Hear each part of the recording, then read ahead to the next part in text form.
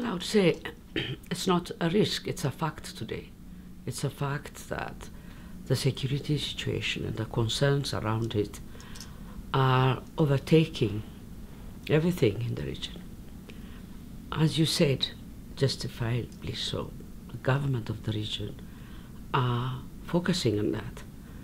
Um, and therefore, at the expense of all the other endeavors expected of them.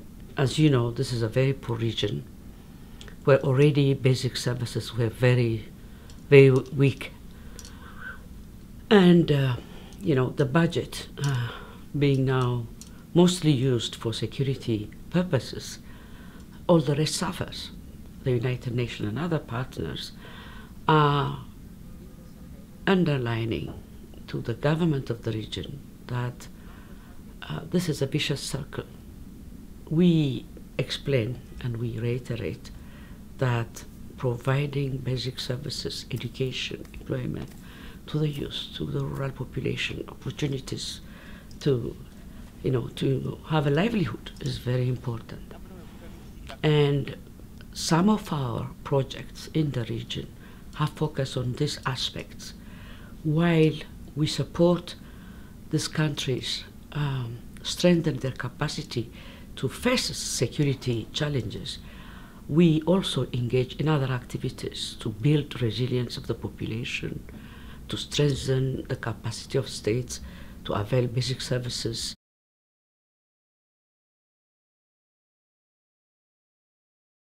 The Sahel is increasingly getting the attention of the international community.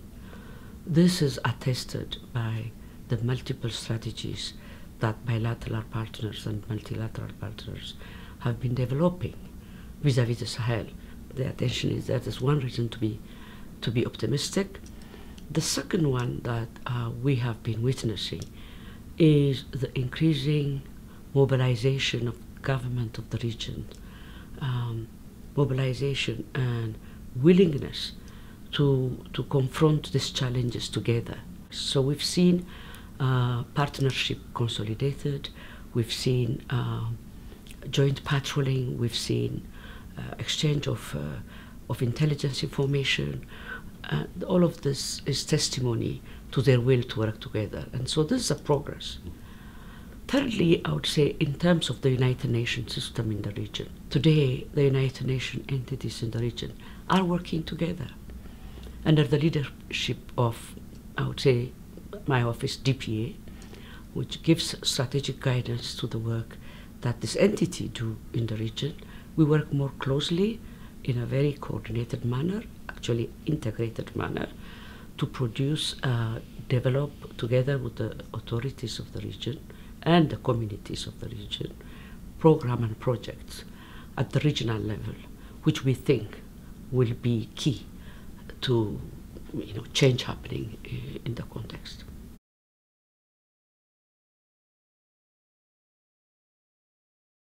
We have to increase international cooperation in the fight against terrorism.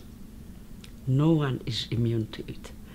And these countries of the Sahel are probably the poorest in the world and are faced with global, global challenges which have nothing to do with them which originate elsewhere. I'm talking about terrorism, narco trafficking, uh, impact of climate change.